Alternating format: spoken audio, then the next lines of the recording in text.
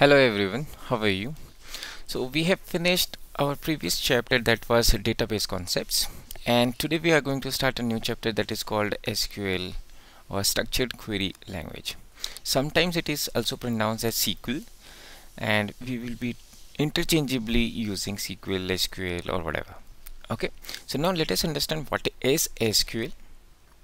So SQL is a standard language for accessing and manipulating database across the platforms different platforms and different relational database management systems. Right? Okay. So let us go ahead and reread this introduction. SQL or structured query language is a standard language for accessing and manipulating database. SQL commands are used to create transform and retrieve information from relational database management systems okay what is relational database management system? We have already talked about it. This is a simple software which is used to manage a database management systems. Okay. Now uh, and also used to create interface between user and database. By using SQL commands one can search any data in a database and perform other functions like create table add records modify data remove rows drop table etc SQL commands are used to implement following. You can see a very long list. It can be used to retrieve data from the database insert records update records delete records insert or uh, create new database create new tables views triggers many things are there okay? And we will be focusing on creating table retrieving information and manipulating the data. Right? So let us focus about it. First of all you need to open mysql command prompt. Okay? I am sharing you a video where you can learn how to install mysql on your machine. Okay? So follow those steps and then come back again and we will start it right? Now we will open mysql command prompt and log into mysql instance and then we will create a database. Okay? So now first of all I need to click on start and type mysql. And straight away I can see mysql 5.5 command line client.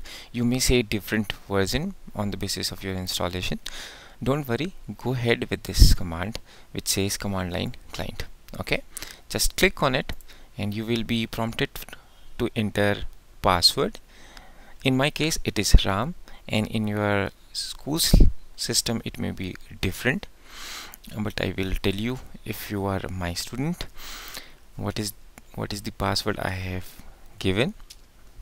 Just click on or hit enter and then you will see I am in my SQL prompt. Okay? From here I can type SQL commands and then perform any task which I require. So first of all let us see how many databases this machine has. So the command is show databases just hit enter. Remember do not forget to have a semicolon at the end of the command. Now you can see these are my databases. Now here db1 is created by me but others are already present and comes with default mysql installation right? So don't worry I will teach you how to create a database. This time I'm going to create a demo database.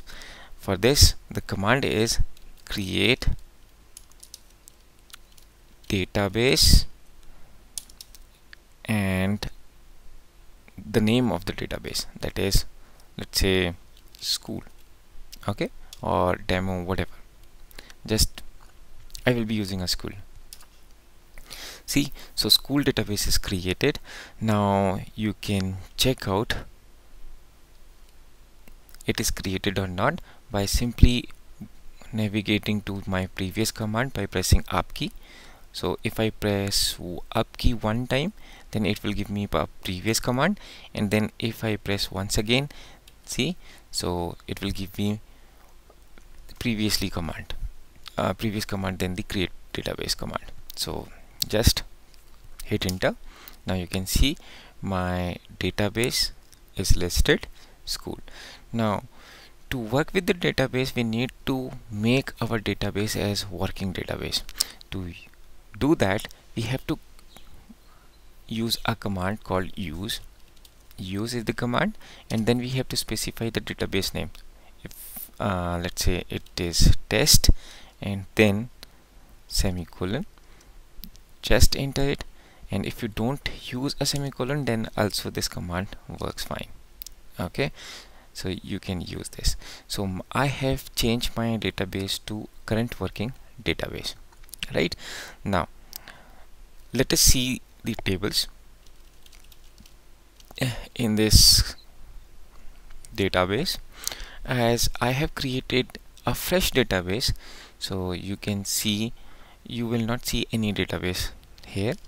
See empty set or my mistake I have used a test. I should be using a school. That is not a problem. You can use a school here and just hit enter and then you can repeat the command show tables. Remember put a s at the end of tables. Okay? Just click on sorry hit enter and you will see there is no table. As I have created a very fresh database. So my task is to create a database. And remember we have learned a different data type. We will be using those data type here for creating columns. So first of all the command goes like this. Create now table. You have to specify the table name. And that is let's say student for me. And then use a parenthesis. Now you can keep on typing here but I would like to have a enter okay? So I have used a enter so that it looks nice. So now I have I need to specify the first column let's say it's admin number and it is integer and the data type of admin is integer. And then I need to specify a constant that is primary key we will talk about uh, different constraint later on in our session. But for now we will be using our primary key. Okay? And then comma. So notice I have completely given a definition for a column. Admin number is my column name. Int is a data type followed by space and then specify a different constraints. You can specify more constraint by simply specifying other constraint like default is default but in primary key we cannot specify a default. Uh, not null you can specify by simply giving a space and typing not null and then comma. So comma is used only when you have finished giving definition to a column. Okay then we are going to specify another column. Let's say it is name and that is where care let's have 100 this time and let's say it be null null. So this is another constant I'm going to use. And then last I can use a class or it should be a class it's int and I'm going to specify the scale that is 2 right? And then another section it is let's say care. I can specify 1 or 2 whatever you like but this time I will be using 1 and then when I finished my column definitions I then I have to close my parenthesis by specifying right parenthesis and then semicolon to finish the command and just hit enter. If everything is fine your table will be created. It will say query okay zero rows affected. Now uh, let us see whether I'm having a table. Now you can see I'm having a table in a school database student.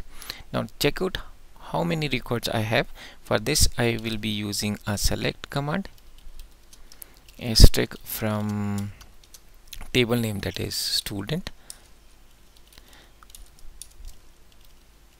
As I have created this table right now so there may not there will be no rows so it will give you an empty set. But if you want to see the structure of this table you can type a command desc and then table name that is student and then hit enter. Okay? You can also use the escrib describe student and we are getting a same result.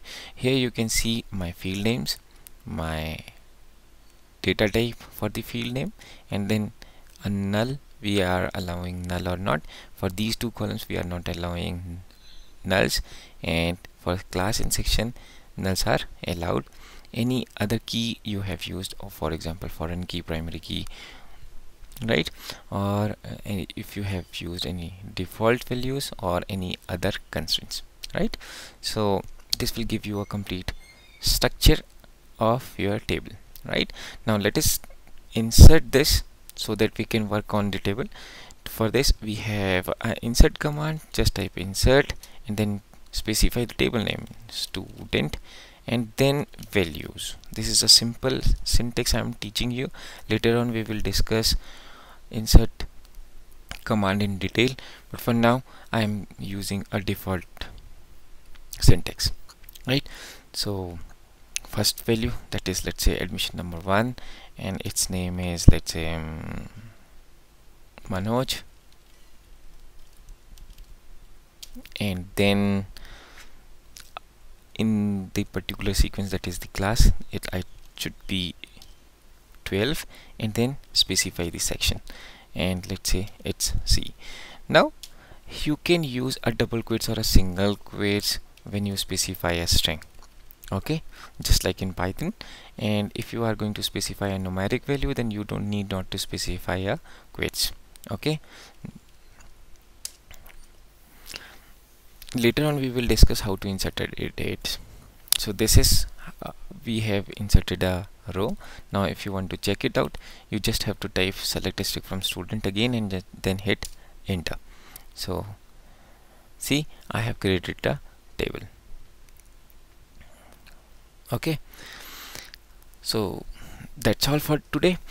Hope you are going to use MySQL first install it. Uh, I'm going to give you a link. Follow those steps and then start working on MySQL so goodbye. Bye bye see you